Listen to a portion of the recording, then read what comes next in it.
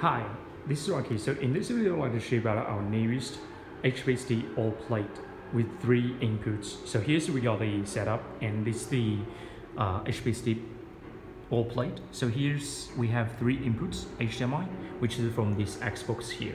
And we have the VGA from this laptop on that side.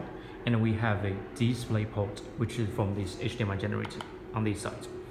Then over HDBaseT, the Cat 5e cable and 70 meters, then along the way to the receiver on this side.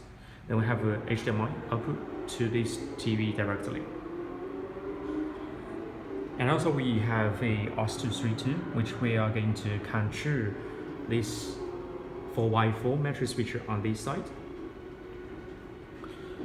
So, and the power supply for the receiver over the Cat5 cable to the transmitter on this side. So on the wall-plate transmitter, we, we can see we don't need the power adapter to power on this one. We can get the power from the receiver. So on the wall plate, basically we can see we have the indicators and this is for the working mode. We can use manual, auto or priority and also this power indicator.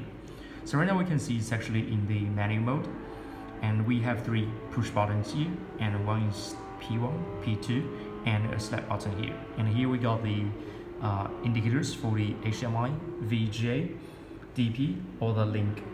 And here we got the RS232 which we can just program these two buttons here. But right now we are did uh, programming P1 is switch input 1 to all the outputs. And P2 is switch to the input 2 to all the outputs. Actually on the matrix switcher right now we only have one input to one output. So if we press the button we can check it we can hear the sound from this matrix switcher. We just press the P1, P2.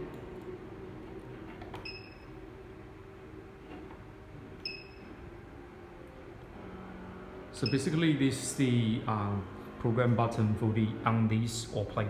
And we also can use these two to control like the projector or the other equipment by the r232 commands. And also can switch to the bidirectional DR, IR, IR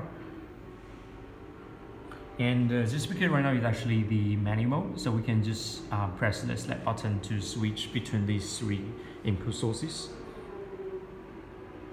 So now it's actually DP, we press the button, it will switch to the VGA.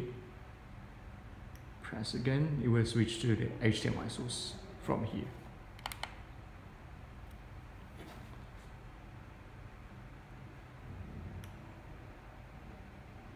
Display port VGA